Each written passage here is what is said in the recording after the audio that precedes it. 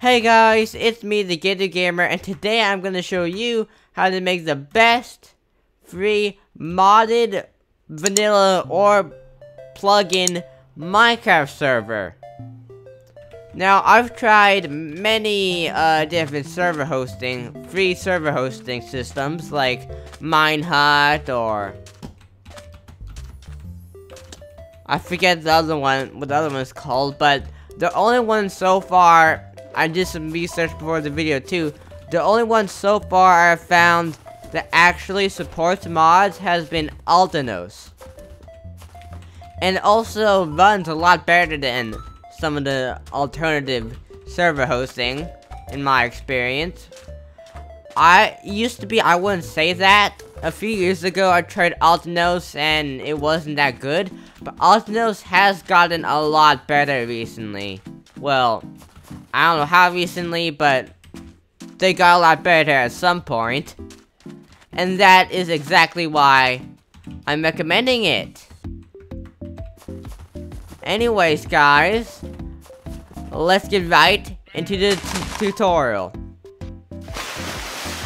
Okay, guys, the first thing you want to do is you go to aternos.org. The link is in the description, and once you're there, you'll see a play button right at the bottom right of the page. You press on that, and you log in. I don't have to log in since I'm already logged in. But once you log in, you'll be taken to a page similar to the one I'm showing here. The only difference should be this button in the middle will be slightly different. But pretty much you press on that button, right? And once you're there, it'll take you to uh, this page and you go straight, most importantly, to the bottom left of the page and turn on dark mode. Most important step. Very important. And after doing that, you go to software and you download the software you want. This could be Forge or Fabric for modded, or any of these for plugins, or if you want a Minecraft snapshot, or vanilla, there's vanilla. And I'm gonna go for a plugin. The process for downloading both a plugin and mod is almost exactly the same. So I'll kind of explain to you the difference as we go. Anyways, after selecting the version you want, if you want paper or fabric or what, you go here and you hit install. Once that's done, you'll see a button here that'll say either plugin or mods, or it won't be there if you just got a vanilla version. And you hit that. And right here you can search for whatever plugin or mod you want. I don't, I usually either download vanilla or Forge. And with Forge, I haven't ever had a mod not be on here that I wanted. If it's not here, it's probably not updated for the version of Minecraft you want.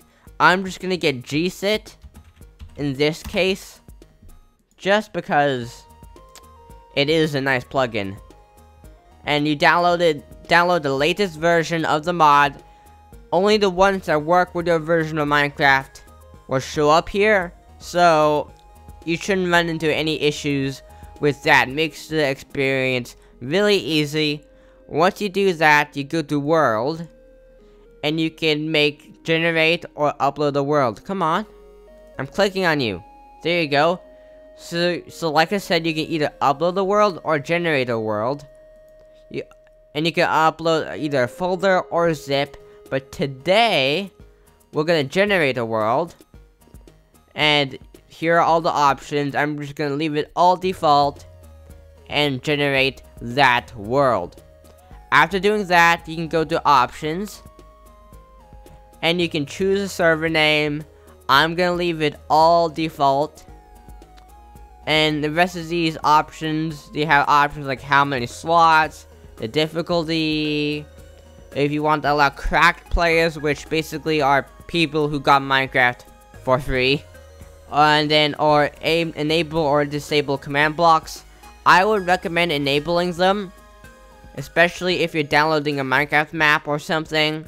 And same with fly, I would leave that on And that's really the main options. You can see the rest right here.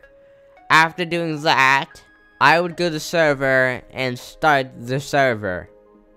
Before doing that, if you ever wanna like delete your server completely, start from scratch, go to configure your server right here. Wait, no, uh, that's not right. It's go to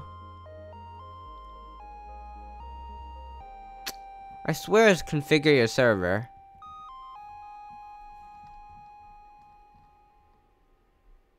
Oh, right here, yeah, reinstall. And that will uh, allow you to completely delete everything. Anyways, let's go ahead and start the server now. And once the server starts, it generates, accept the EULA. Uh, this, the files were load and generate, right? And the files will look similar to normal Minecraft files, like, so it'll be pretty self-explanatory. If you ever added a resource pack or something, you probably don't have to mess with this, unless you want to delete any mods. Which, actually, I might show you how to do it once the server loads. Since this is the first time the server is loading, it'll take longer than normal. And you hear that? You'll have little ring, and that means the server has started. I'm going to go ahead and stop the server now, just so I can show you how to uninstall a plugin. There we go, and pretty much let's go to Files, and go to uh, Plugins. If you do like Forge or something, it'll say Mods instead. You go there, and you can uninstall your mods just by hitting this trash can icon. But I'm not gonna do that now.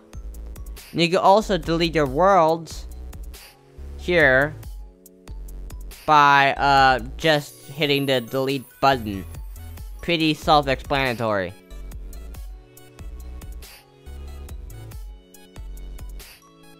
Something I quickly almost forgot is um, you're gonna want to go to software. I mean, uh, players, right here, and you're gonna wanna op yourself. Very important. You can also edit whitelist and ban players, but today I'm just gonna add myself as op. And then, thanks to that, you can run commands and do op stuff.